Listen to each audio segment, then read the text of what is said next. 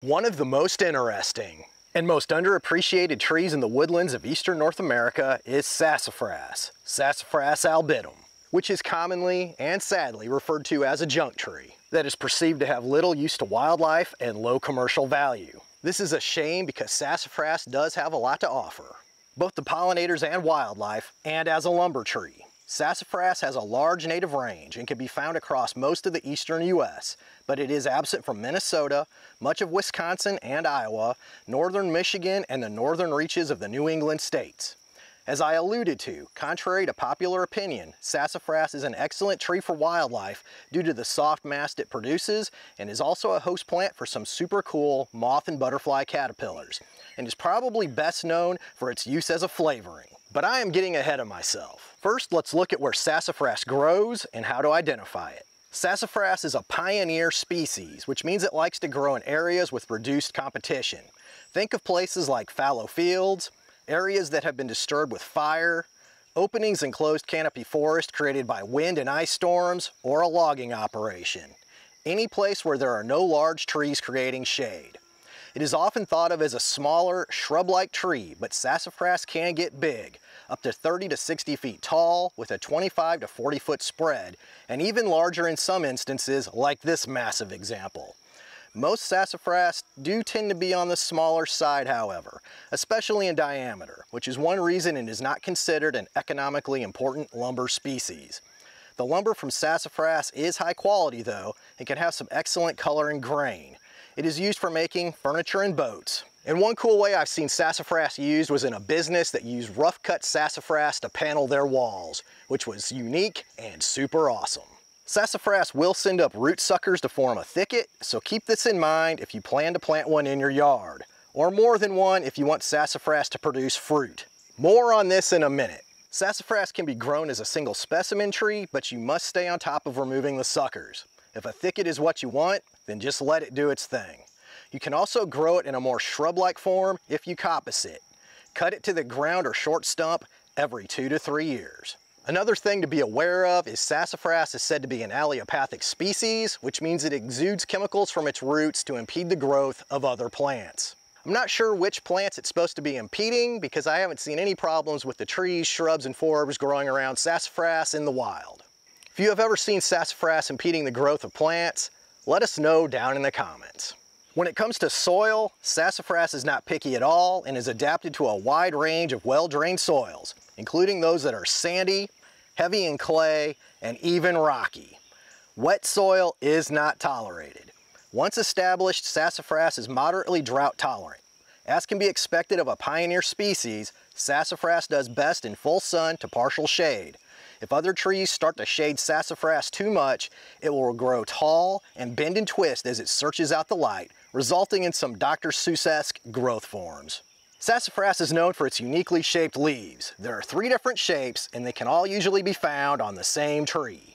There are simple elliptically shaped leaves and two types of lobed leaves.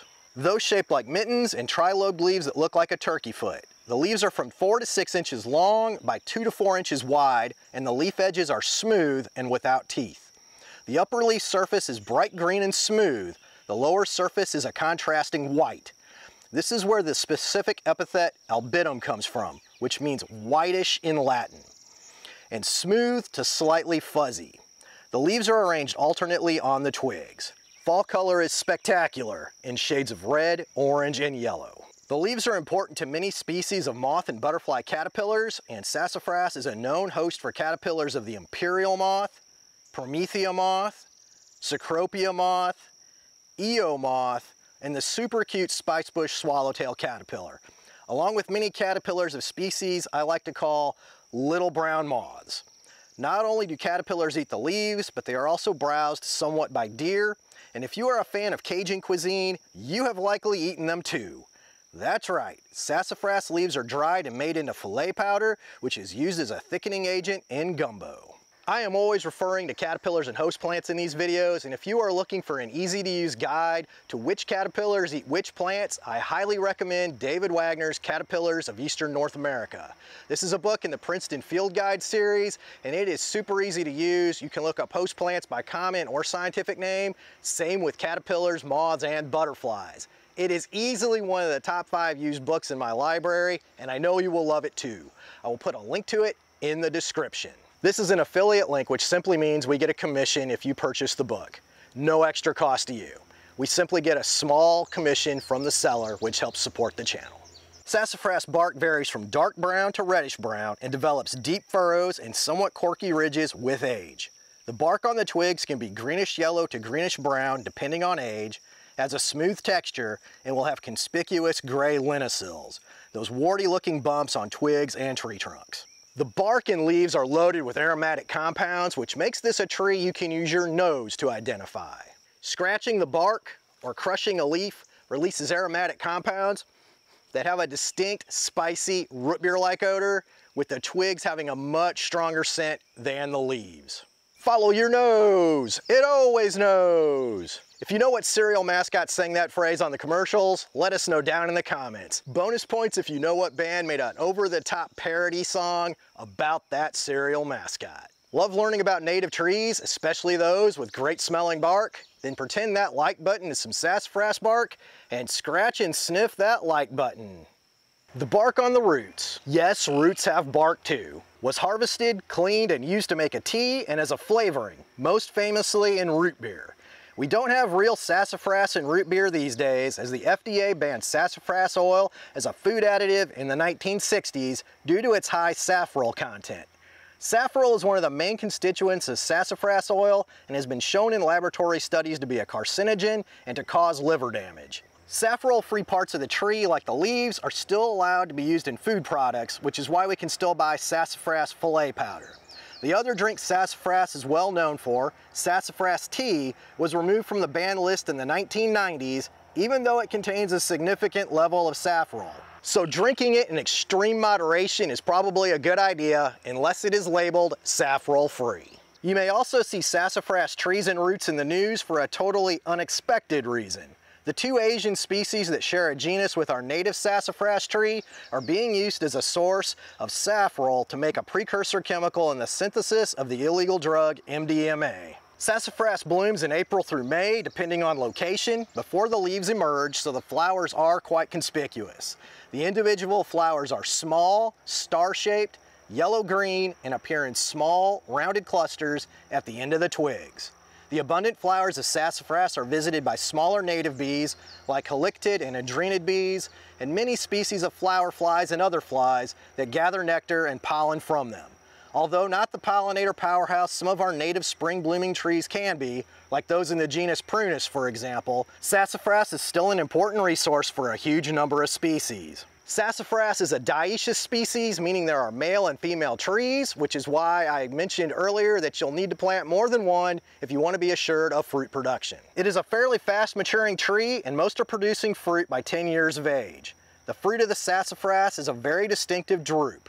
The best way to describe it is a half inch long blue-black egg sitting on top of a bright red golf tee. The fruits will start to display in June and July, but will not be fully ripe until around September, when they will be eagerly sought out by a wide variety of songbirds, northern bobwhite, and wild turkeys. They are also eaten by small mammals, and even white-tailed deer and black bears feed on them. After the fruits are eaten by birds and critters, the bright red stalks often remain on the tree. Another way sassafras helps to support birds and wildlife occurs after it dies. Sassafras has relatively soft sapwood, at least when compared to other hardwoods. It is still a dense wood that woodpeckers are fond of hammering cavities into. These cavities are then used by the woodpeckers to nest in, and once abandoned by the woodpeckers, other cavity nesting species like chickadees, the beautiful bluebird, and great crested flycatchers will nest in them. Small mammals like flying squirrels and some bat species, reptiles like fence lizards, and amphibians like the gray tree frog may also take refuge in the cavities. Sassafras belongs to the Lauraceae, the laurel family, and has some relatives in the eastern U.S. you may be familiar with.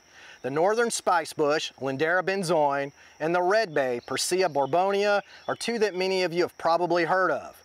It is even related to the avocado, which is also in the Lauraceae. Unfortunately, there is a new threat to the laurel family in North America. A beetle spread fungus is causing a disease in trees and shrubs in the Lauraceae called laurel wilt disease. This fungus kills the infected trees and shrubs, and at this point, nothing has been found to stop it.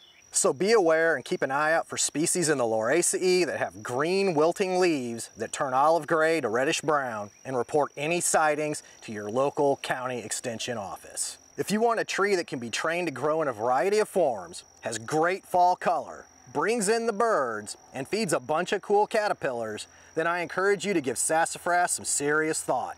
There is another native tree that is great for wildlife and pollinators that sometimes gets confused with sassafras because it also has leaves in three different shapes, and that tree is the awesome red mulberry, Morus rubra, which you can learn all about in this video, and be sure to take some time and enjoy nature in your backyard.